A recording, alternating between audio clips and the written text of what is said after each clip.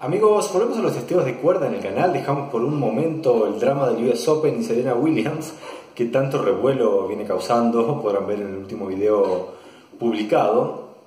Infinidad de comentarios, muchísimas vistas y mucha polémica. Pero bueno, es un tema que da mucha tela para cortar y seguramente tendrá un video de continuación.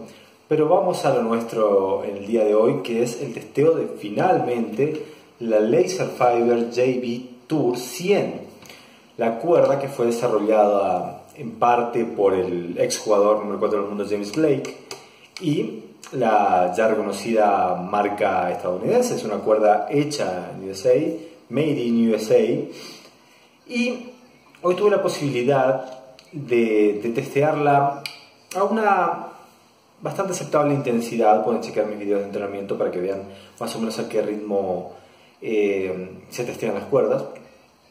Y la verdad, gratamente sorprendido con la cuerda, una cuerda de bastante alto poder para hacer un poliéster, una cuerda muy suave al sacarla del, del pack, se la siente súper suave y manejable, recuerda un poco a una Luxilon Power, quizás no tanto a la RAF, más a la Power Smooth, a la lisa. Es una cuerda que despide bastante, yo la acordé a la misma tensión de siempre, 41-40. Tuve algunos problemitas al principio, la verdad se me dio un poquitito larga, pero al tratar de generar el efecto extra como para controlarla, la verdad que es una, una cuerda que responde muy muy bien, muy muy bien. En el departamento de la duración, yo, esta es una versión 1.25, yo creo que si los jugadores que son un poco más cortadores de cuerda y usan una, un aro 100 en un patrón 16-19, yo recomendaría que vayan por el 1.30, que vayan por un grosor un poquitito más importante porque la duración no es la principal característica. Estuve pegando una hora y media, no a mi mayor intensidad, pero sí respetablemente, y ya hay algunas, algunos signos de, de desgaste. No es una cuerda pensada para una gran durabilidad, pero sí para una muy, muy buena performance. Es una cuerda muy precisa cuando uno trata de, buscar un tiro un poquito más penetrante y más plano, la cuerda responde. Para los toques es muy sensible, va de la mano con la sensación que uno tiene antes de encordarla y durante el encordado.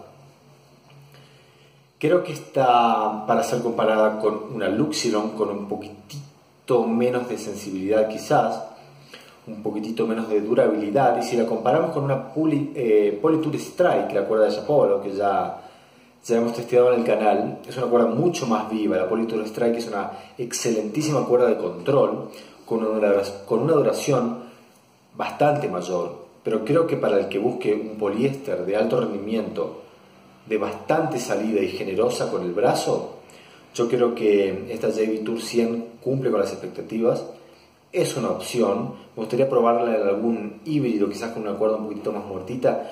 Me da mucha curiosidad cómo podría quedar con mi Kevlar que estuve mostrando en los últimos videos. Creo que sería una buena combinación, le daría un poquitito más de control y mm, ganaría un poco en generación de efectos. Me parece que sería muy interesante. Voy a ver si puedo tener otro, otro pack como para probarla con Kevlar. Pero en general, una muy buena cuerda de alto rendimiento que espero que puedan probar y me puedan dar sus sensaciones en el, en el video, en los comentarios. Eso es lo que tengo para contarles en este video, amigos. Espero que les haya servido. Así que ya saben, si les gustó, no olviden de darle like y no olviden suscribirse al canal. Nos vemos la próxima.